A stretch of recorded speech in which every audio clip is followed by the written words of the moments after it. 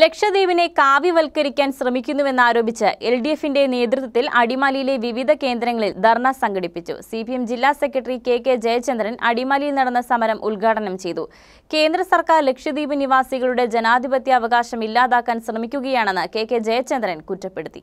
ലക്ഷദ്വീപിനെ കാവ്യവൽക്കരിക്കാൻ ശ്രമിക്കുന്നുവെന്നാരോപിച്ച് L D F സംസ്ഥാന വ്യാപകമായി ആഹ്വാനം ചെയ്ത പ്രതിഷേധ സമരത്തിന്റെ ഭാഗമായിട്ടായിരുന്നു അടിമാലിയിലും പ്രവർത്തകർ വിവിധ കേന്ദ്ര സർക്കാർ സ്ഥാപനങ്ങൾക്ക് മുമ്പിൽ ധർണാ സമരം സംഘടിപ്പിച്ചത്. അടിമാലിയിൽ ഹെഡ് പോസ്റ്റ് ഓഫീസിന് മുമ്പിലും സ്റ്റേറ്റ് ബാങ്ക് ഓഫ് ഇന്ത്യ ശാഖയ്ക്ക് മുമ്പിലും ബി എസ് എൻ എൽ ഓഫീസിന് മുമ്പിലും സമരം നടന്നു.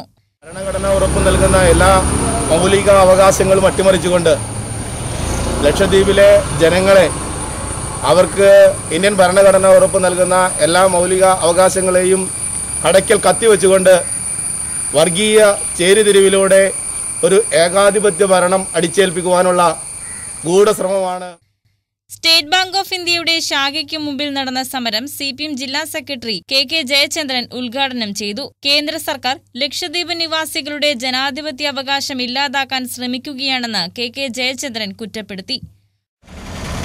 സമൂഹത്തെ ഇന്ത്യയിലെ ടൂറിസം വികസനത്തിന്റെ പേരിൽ ഇന്ത്യയിലെ വൻകിട കോർപ്പറേറ്റ് ലോബിയുടെ കയ്യിലേക്ക് ദ്വീപിനെ എത്തിച്ചു കൊടുക്കുക എന്നുള്ള നിഗൂഢമായ അജണ്ടയാണ് അതിന്റെ പിന്നിലുള്ള പ്രധാനപ്പെട്ട ഒരു ലക്ഷ്യം.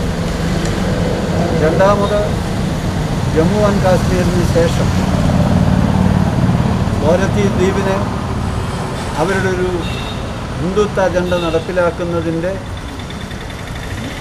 ഒരു പരീക്ഷണശാലയാക്കി ലക്ഷദ്വീപിനെ ഇപ്പോൾ മാറ്റി തീർത്തിരിക്കുകയാണ് അടിമാലി ഹെഡ് പോസ്റ്റ് ഓഫീസിന് മുമ്പിൽ നടന്ന സമരം സി പി സംസ്ഥാന കൌൺസിൽ അംഗം സി എ ഏലിയാസ് ഉദ്ഘാടനം ചെയ്തു.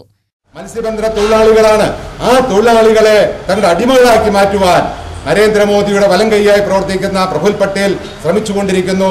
അത് അവിടുത്തെ ജനങ്ങളുടെ താല്പര്യങ്ങൾക്കെതിരാണ്.